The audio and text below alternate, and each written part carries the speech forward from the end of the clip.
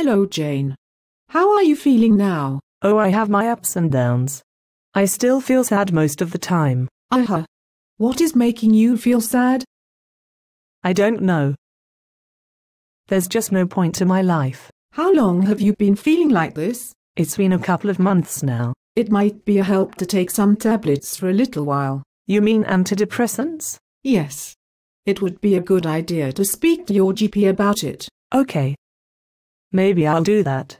I need something, that's for sure.